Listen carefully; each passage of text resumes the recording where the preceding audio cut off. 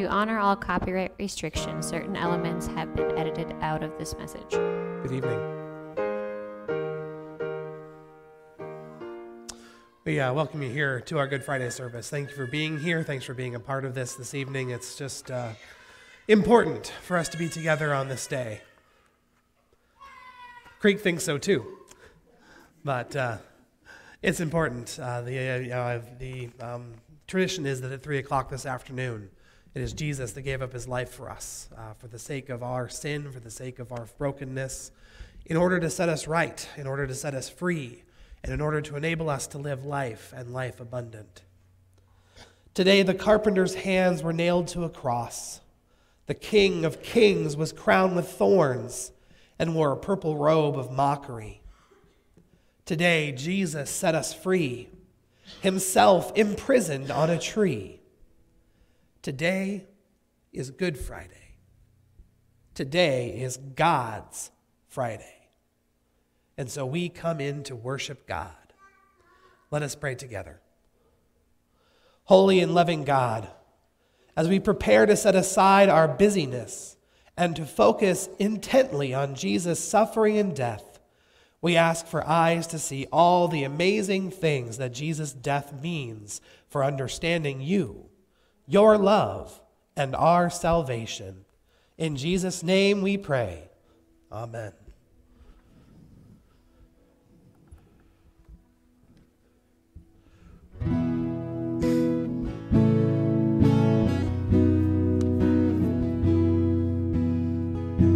Above all powers, above all kings, above all nature created above all wisdom and all the ways of man.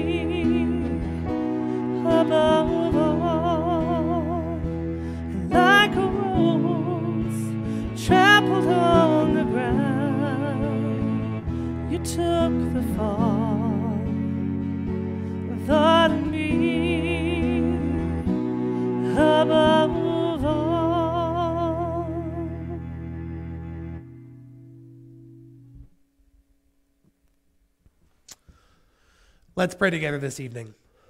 Great God, as we remember the events of the night that Jesus was betrayed and abandoned in Gethsemane, our hearts are filled with shame that we foolishly waste our time and make little progress in our Christian life from day to day. We lament that war flourishes and even grows more rampant. We lament that injustices feel like the norm. Forgive our cruel indifference and teach us again the good news of forgiveness. Allow us to live anew in your love and bring forth the day when all will be made new. Amen. Watch the Lamb. Awful good advice, not just for today, but especially for today. Watching the Lamb is kind of the goal of our whole lives, isn't it? Watch what the Lamb does as he gathered with his disciples. We're rewinding the story a little bit. Good Friday is the day where we celebrate the death of Jesus, but there's a night before. The night before when Jesus is trying once again to prepare his disciples for what's about to happen, that is actually going to happen. Despite their disbelief at Jesus' words, what Jesus came, what Jesus said is what had come to pass. Matthew chapter 26 begins with these words. When Jesus, the Lamb, had finished saying all these things, he said to his disciples, You know that after two days of the Passover is coming, and the Son of Man will be handed over to be crucified. Jesus continued teaching.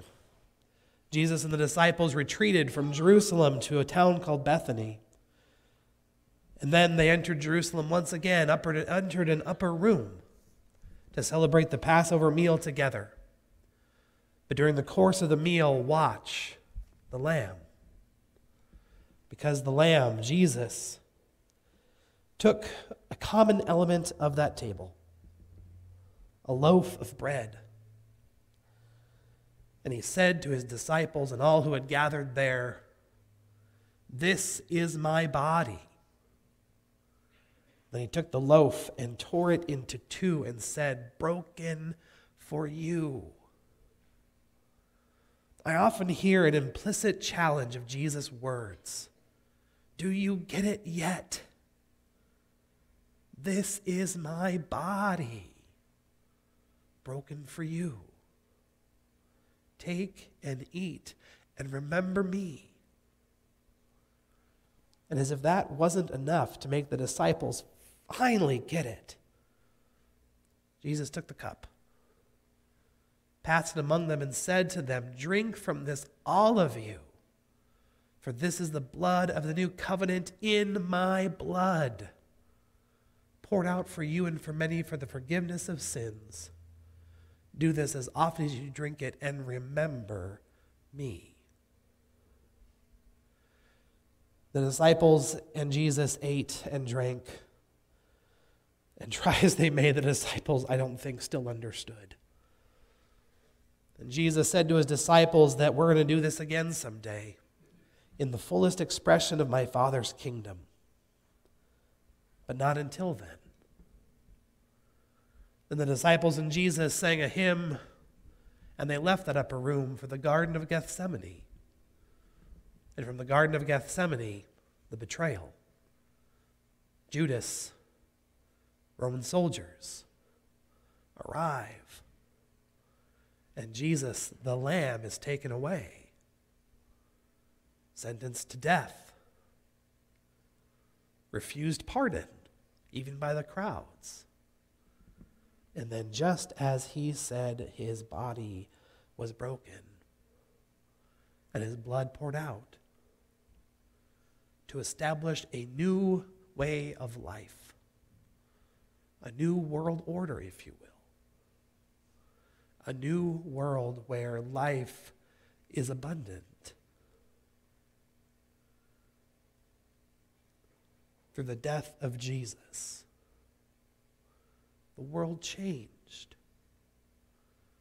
And as a reminder of that, we've been given these gifts of bread and cup so that we can bring change forth into the world. As we prepare to, to, to partake of these elements, let us pray together.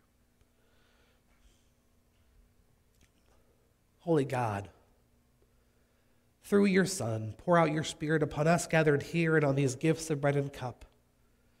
Make these gifts be for us the body and blood of Christ so that we can grasp the message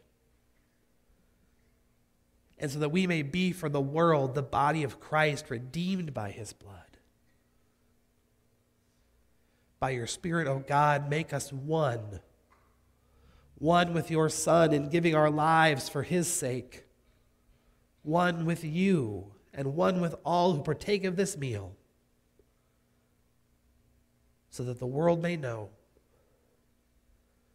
of the power of your life giving and life changing love made known in Jesus. Amen. Would those that are helping uh, please come forward at this time?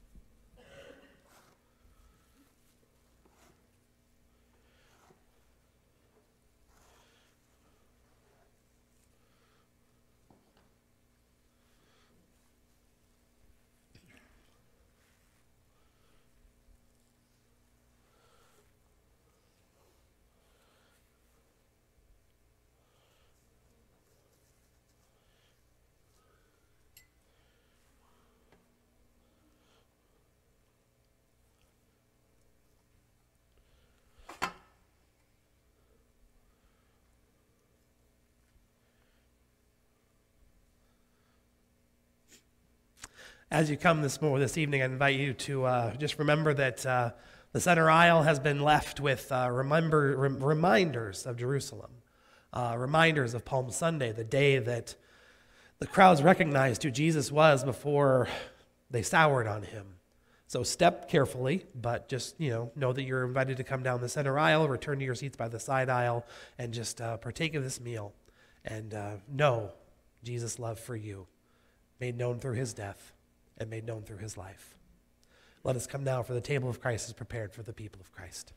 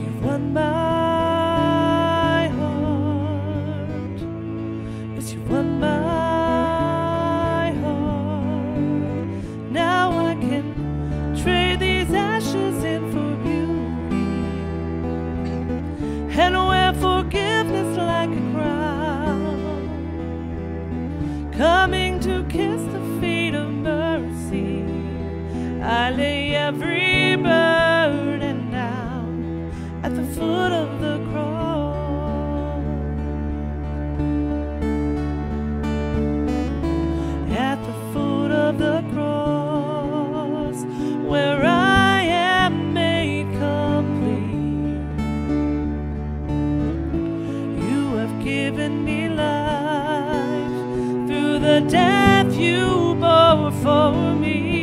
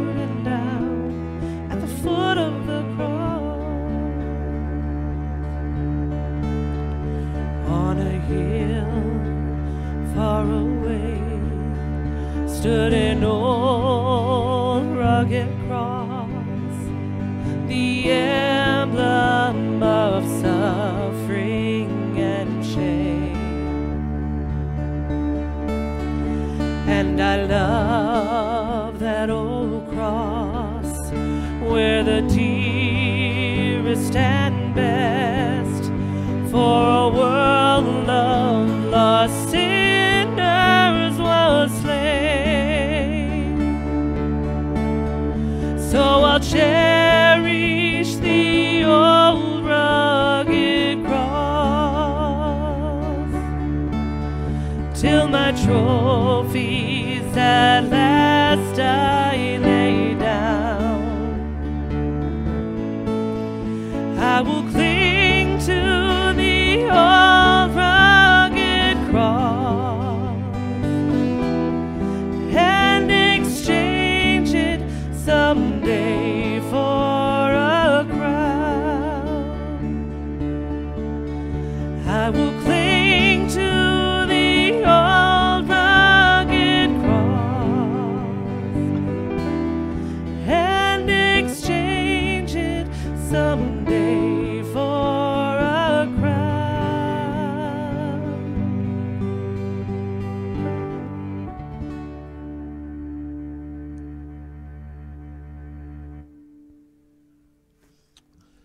Let's pray together.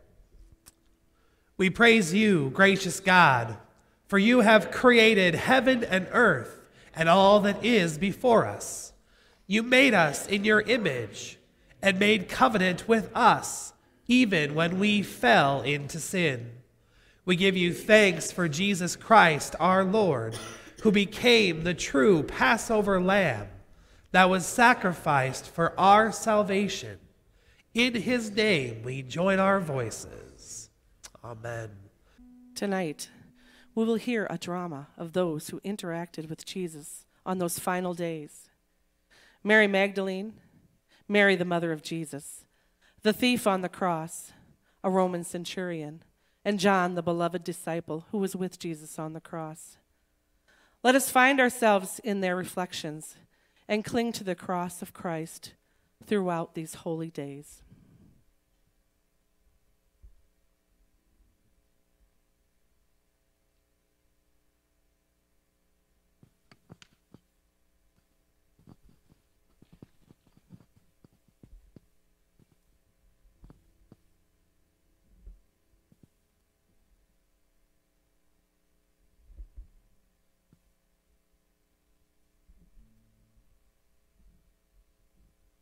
When Jesus was crucified, most of his friends and disciples abandoned him. Only a few people were there to witness the last hours of his life. As they gazed upon Jesus in those final moments, what did they see? What thoughts and feelings must have weighed upon their hearts? He, he had called me, and I followed him. Last night, I leaned my head against his shoulder and listened to his words words that came from God. His words always spoke of the love of the one who sent him. But he wouldn't speak to those who accused him. There were no words of hatred or revenge. He spoke the words of God, and now those words are being silenced by the violence of men. The word of God is still silenced by violence and cruelty. The word of God is still is stifled by fear and embarrassment. For the times when we have stood by and allowed the wor- word to be suppressed and silenced, let us ask the Father's forgiveness.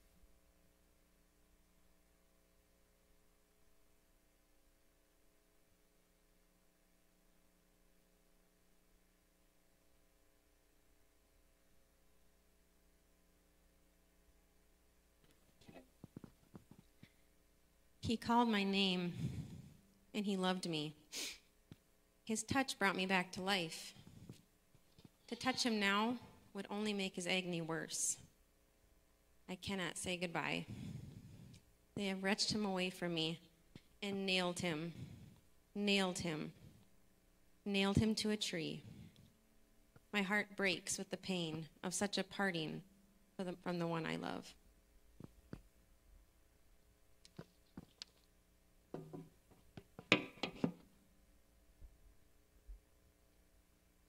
Those who love are still wrenched apart by cruel hands. There is no chance to say goodbye. There is no way to ease the pain of parting. For the times we have been immune to the pain of others, ignored the cries of those in an agony of separation, we ask the Father's forgiveness.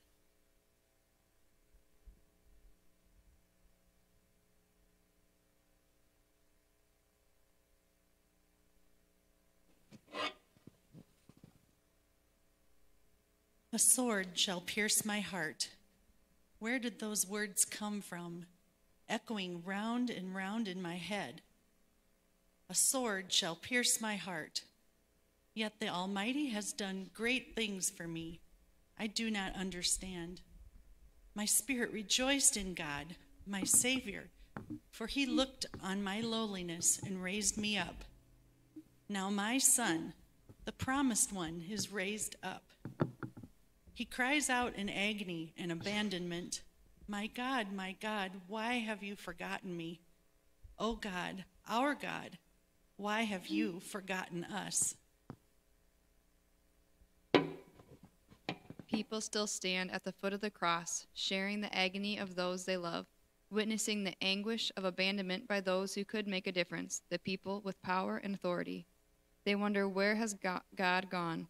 For the times when we have allowed people to be abandoned to evil forces, when we have failed to act or speak on their behalf, we ask the Father's forgiveness.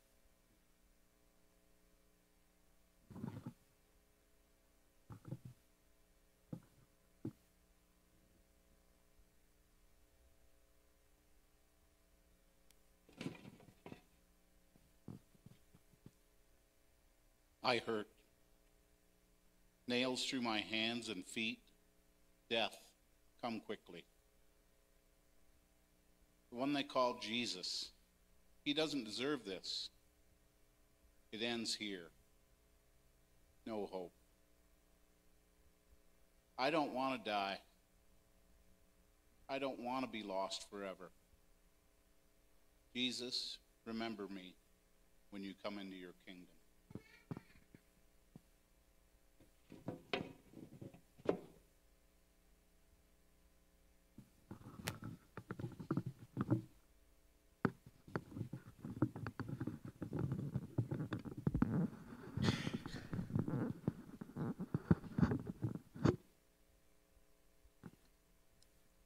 To lose hope is the worst agony. To be afraid of oblivion, part of the human condition. To call on the name of Jesus is a sign of hope in despair. For the times when we have lost hope and given away to fear, falling and failing, to call on the name of Jesus, we ask the Father's forgiveness.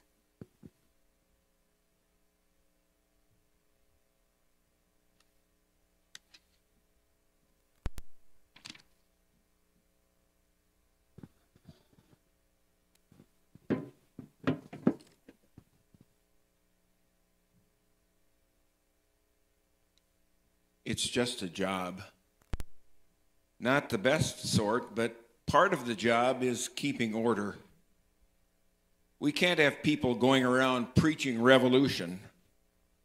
If they won't keep quiet, then the law has to take its course. My job is to make sure that it's done efficiently. This one's different, though.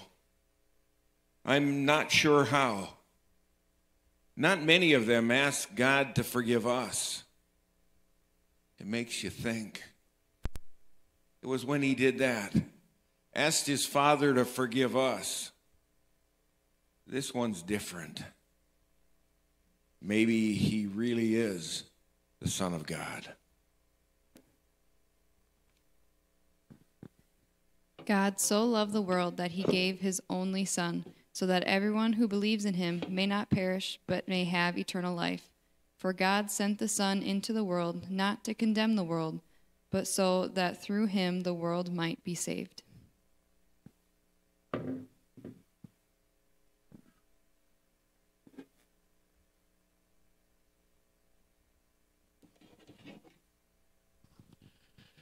The Word became flesh and lived among us.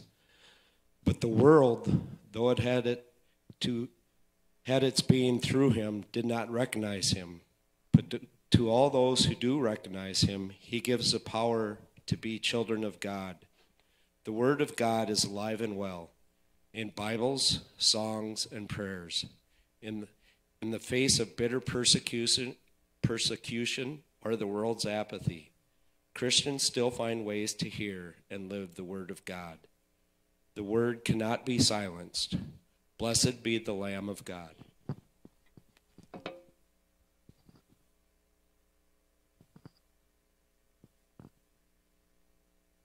I will not leave him.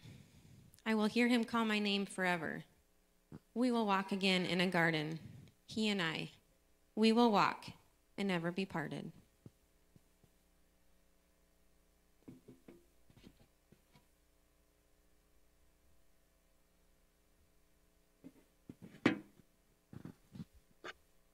Soon, and very soon, children will be returned to the arms of their parents. The loved and lost will be reunited. Soon and very soon, the forgotten prisoner will receive a letter and know that someone knows his name. Soon and very soon, the pain of parting will give way to radiance of joy in reunion. Blessed be the Lamb of God.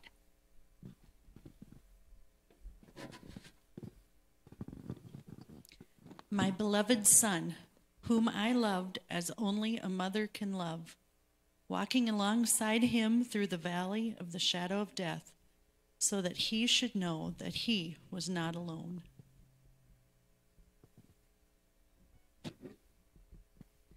Only one who has suffered can walk alongside those who suffer.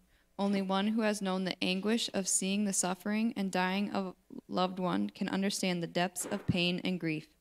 One woman, gentle and humble in heart, walks eternally alongside her suffering children until the day they are reunited in the city of God, the New Jerusalem, lit by the light from the throne of the Lamb. Blessed be the Lamb of God.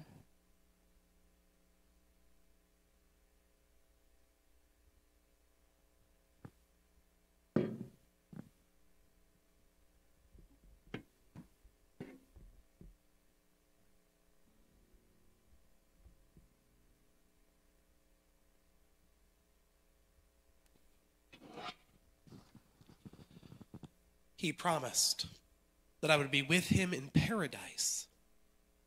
I was a waste, a failure, the scum of the earth.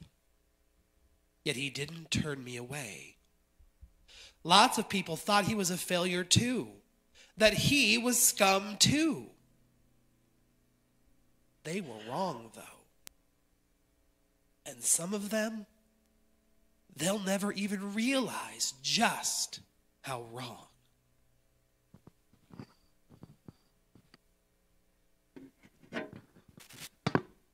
Jesus came into the world not to condemn the world, but to save it. He was despised and rejected, and he shared the lot of the poor and the wretched.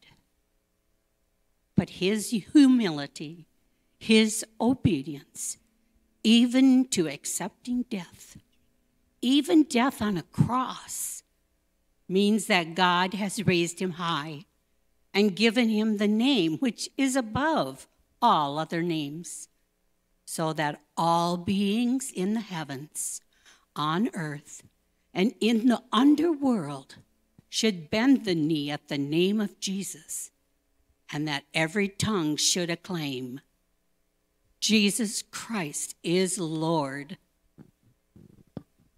Then I looked and I heard the voice of many angels surrounding the throne and the living creatures and the elders. They numbered myriads of myriads and thousands and thousands, singing with full voice Worthy is the Lamb that was slaughtered to receive power and wealth, and wisdom and might, and honor and glory and blessing. Then I heard every creature in heaven and on earth and under the earth and in the sea, all that is in them, singing, To the one seated on the throne and to the Lamb blessing, be blessing and honor and glory and might forever and ever. Amen.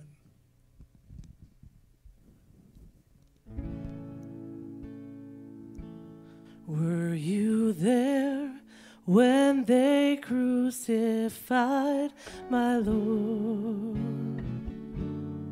Were you there when they crucified my Lord? Oh, sometimes it causes me to tremble,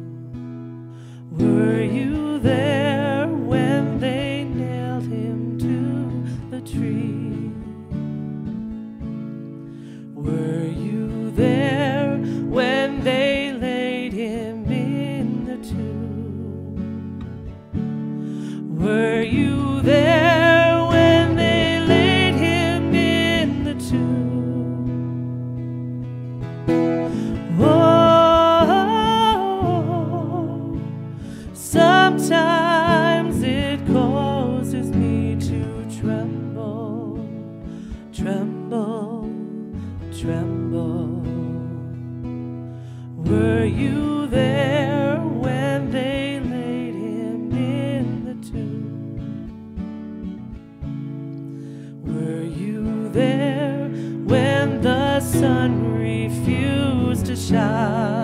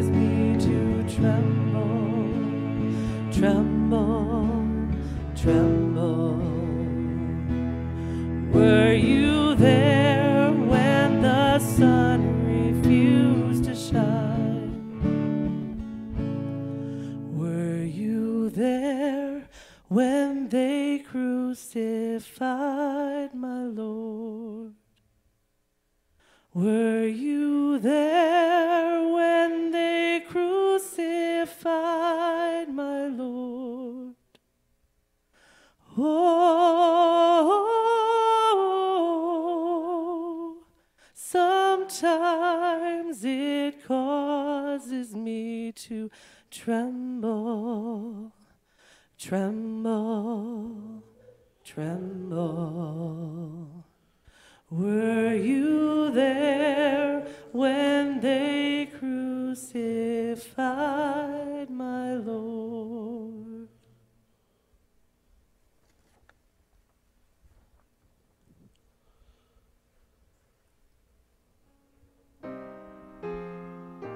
Friends, you know the whole story of Jesus and his love. You know the old story of God coming to live among humankind. You experience divine presence on dark days and in sunlight. Remember well the King upon his cross. He who did not despise your weakness shall never leave you or forsake you.